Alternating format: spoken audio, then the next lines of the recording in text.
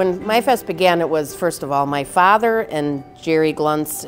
Our dads together were standing in Munich at the Viktualienmarkt, and there was a maypole there, and they looked at each other along with Gene Schulter, and they said, you know what, we should have one of these in Chicago. We've got the Hofbrau Brewery to donate the figurines for it, and we put that up, and then that was when it's like, you know, if we put this pole up, why don't we do a traditional Maifest party like they do in Germany? Everyone looked, looked around and all of a sudden they pointed a finger at me. He says, uh, Joe, you, you're the one who can do it. And he says, well, I don't know if I want to do it. So you don't have any choice though. So, so I, was, I was voted into to running it. It's a celebration of springtime. And it's one of the first events of the year that people can come outside, have a beer, have a brat, listen to music, dance, watch the dance groups, and just have a great time. It's grown and grown and grown over the years.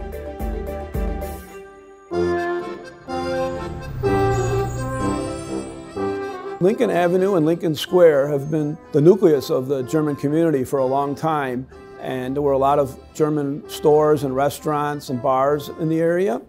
And so it was a natural place to have it. Many people in the community had German heritage.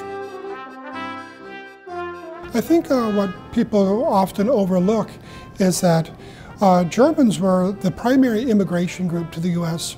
from the early 1840s, really through the 1920s. And that was successive groups for about 80 years. My great grandfather immigrated over in 1879 to escape the Prussian War with his neighbor Oscar Mayer. And Oscar Mayer contacted via telegram saying, You should come to Chicago. They had this big fire, it's a boom town. So my great grandfather moved here in many ways, Germans helped build Chicago, helped build the United States. German communities has a long and vibrant history in Chicago and has contributed significantly to the culture of our city.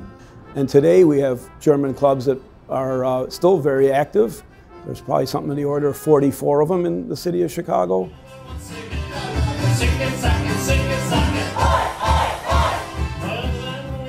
You know, it's very important that we get our young people out to participate in all these cultural clubs. The clubs, they teach the kids the German culture, the dance, the costumes, and that's what we try to keep going, to instill in the younger ones to keep the culture going. I think it's important so you know where your roots are from. German identity is a big part of my life and I hope to inspire others to honor and to participate in the culture. You don't have to be German to celebrate the culture. Germans are known for their hospitality and anyone can get involved with the events. Maifest has a broad scope of people that come to the event and it's really great to be involved. What's my favorite part of Maifest? I would say it's probably the barrel tapping.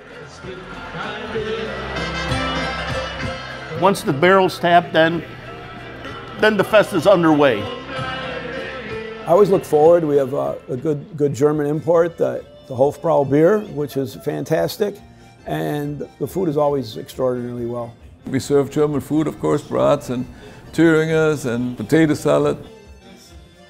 We make it exactly to my mom's recipe, so people love it, and we keep making it.